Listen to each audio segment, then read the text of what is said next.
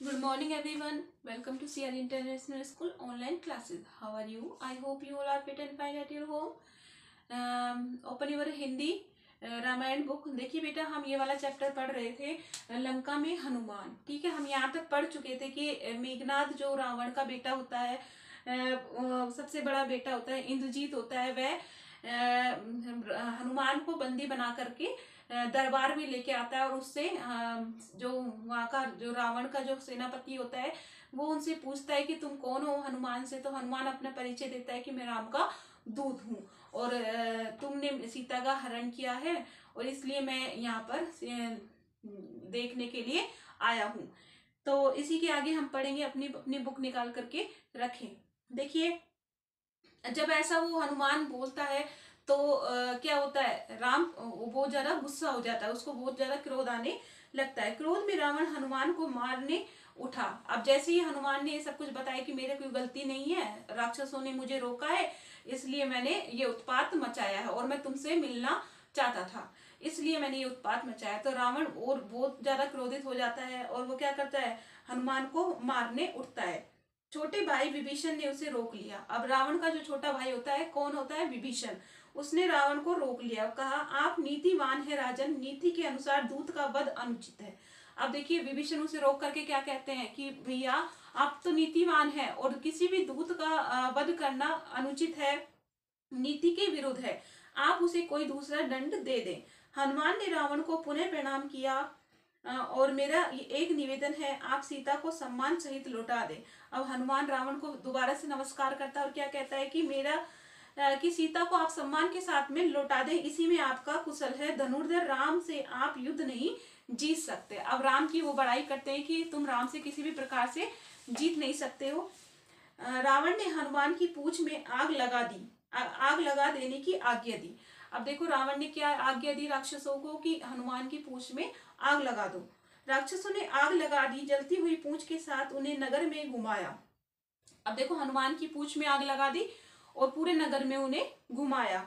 राक्षस ठिटोली कर रहे थे। इसी बीच हनुमान ने बंधन तोड़ दिया। जैसे ही राक्षस उनकी हँसी उड़ा रहे थे तो हनुमान ने क्या किया? हनुमान ने अपना बंधन तोड़ दिया और एक भवन में भवन पर चढ़कर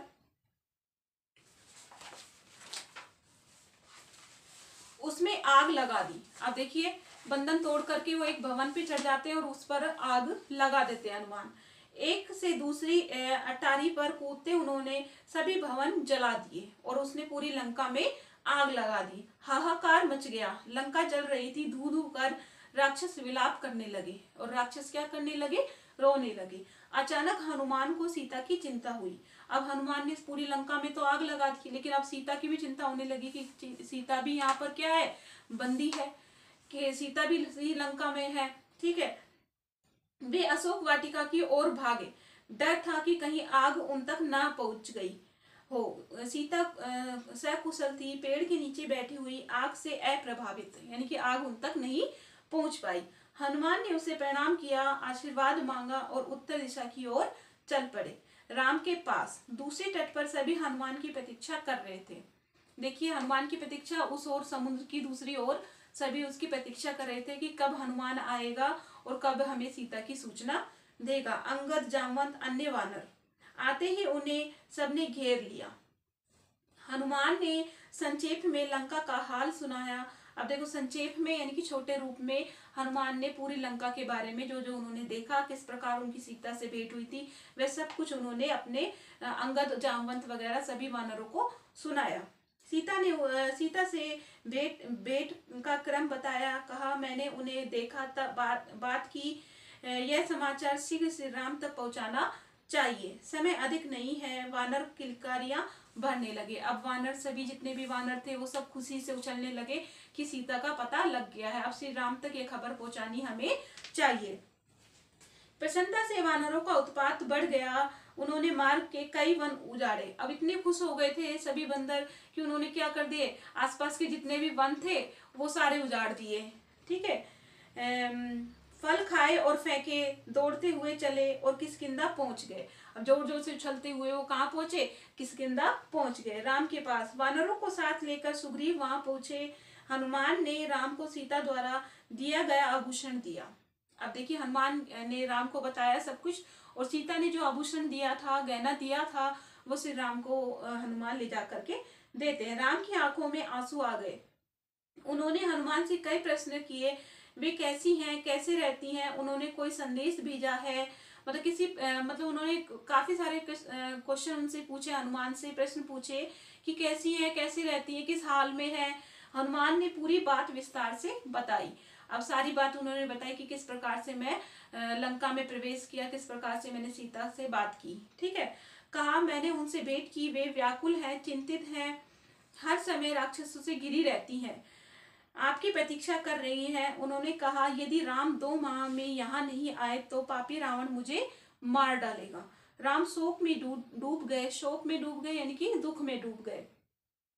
भाव भाव बिहल होकर उन्होंने हनुमान को गले लगा लिया, आँसू रोक नहीं पाए। इतना अंदर से उनकी आत्मा दुखी हो गई थी, जब उन्होंने सीता के बारे में सुना कि उनकी पत्नी किस तरह से रह रही है, और दो महीने के अंदर अंदर राम उसका उनका क्या कर देगा वध कर देगा, अगर राम वहाँ पर नहीं पहुँचे तो रावण उनको मार देगा सीता को। लक्ष्य स्पष्ट था, लंका पर आक्रमण। अब उन्हें बस उनको क्या करना था, लंका पर किसी तरह से आक्रमण करना था। और समय क्या था? कम था। कितना समय था? केवल दो माह का समय था। ठीक है? सुग्रीव ने युद्ध की तैयारी तत्काल प्रारंभ करने का निर्देश दिया। वानर सेना इसके लिए पहले से ही तैयार थी, उत्साहित थी। वानर सेना पहले से ही तैयार थी और उत्साह भी था कि अब हमें उनको पता था कि कहाँ आक्रमण करना है और सीता का पता लग गया है। इस बार उन्हें अलग अलग टोलियों में बांटने की आवश्यकता नहीं थी। क्यों नहीं थी? क्योंकि सीता का पता लग चुका था। अलग दिशाओं में नहीं जाना था। सबका लक्ष्य एक था, दिशा एक थी। दक्षिण सुग्रीव ने लक्ष्मण के साथ बैठकर युद्ध की योजना पर विचार किया। योग्यता और उपयोगिता के आधार पर भूमिका निर्धारित हुई। हनुमान, अंगद, जामवंत, नल और नील को आगे रखा गया। समुद्र पर चर्चा हुई। उसे कैसे पार करेंगे? अब समुद्र पर भी चर्चा हुई कि समुद्र इतना बड़ा है, अब हनुमान तो क्या है? शक्तिशाली है जो उड़ करके पार कर लेता है। लेकिन हम सब कैसे पार करेंगे? इसके ऊपर भी चर्चा की, उन्होंने बातें की। सेना का हर वानर हनुमान नहीं था। ठीक है, यह चुनौती, यह एक चुनौती थी, देर रात तक चर्चा का विषय रही। ठीक है तो बेटा, आज हमारा ये चैप्टर कंप्लीट हो चुका है। और अभी आपको क्या करना है, इसकी रीडिंग करनी है और इसके हार्ड वर्ड जितने भी है वो आपको अपनी रफ नोटबुक में लिख करके प्रैक्टिस करनी है और इस चैप्टर को अच्छे से रीड करना है। ठीक है, इसके क्वेश्चन आंसर आप खुद बनाओ क्वेश्चन लिखो और उसके आंसर ढूंढो और मैं नेक्स्ट वीडियो में इसके क्वेश्चन आंसर आपको करवाऊँगी। तो बेटा आज के लिए इतना ही। Okay bye bye